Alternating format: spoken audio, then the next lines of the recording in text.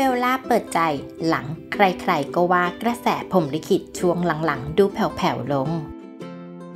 ออกอากาศมาได้ใกล้จะค่อนเรื่องแล้วล่ะค่ะสำหรับละครพรหมลิขิตภาคต่อของละครฮิตระดับปรากฏการณ์อย่างบุพเพสันนิวาสซึ่งตลอดการออนแอร์นั้น ช่วงต้นๆ ก็ประสบความสำเร็จไม่แพ้กันเลยล่ะค่ะ แต่ดูเหมือนว่าช่วง EP ล่าสุดมานี้กระแสบ่นว่าเนื้อหาชักจะแผ่วๆลงไป ไม่สนุกเหมือนเดิม เริ่มแรงขึ้นเรื่อยๆ แถมเรตติ้งนั้นก็ทรงๆอยู่ที่ 7 กว่าไม่ขยับไปไหนสักที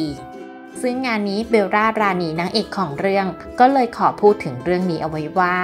ถึงตอนนี้เรตติ้งแผ่วหลายคนนั้นบอกว่าละครดูนิ่งๆ ไม่ได้ตื่นเต้น มันเป็นธรรมชาติของละครอยู่แล้ว ที่มันจะมีช่วงที่นิ่งๆ ก่อนที่จะไต่ไปจุดพีคเพราะอย่างก่อนหน้านี้มันก็จะพีคและค่อยๆเข้าเรื่อง มันก็จะสนุกนิดนึง